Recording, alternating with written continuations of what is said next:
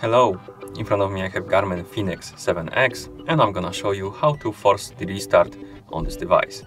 To force the restart on this device, simply press and hold the light button uh, for about uh, 15 to 20 seconds, basically until the screen turns off. So let's press and hold the light button.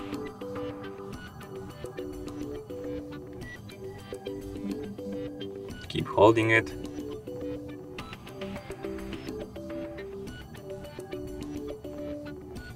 And when the screen goes black you can release the light button wait a couple of seconds and then you can turn on your watch by pressing and holding the light button again.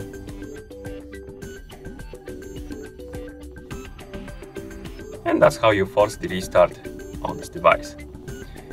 Thank you for watching if you found this video helpful please consider subscribing to our channel and leaving a like on the video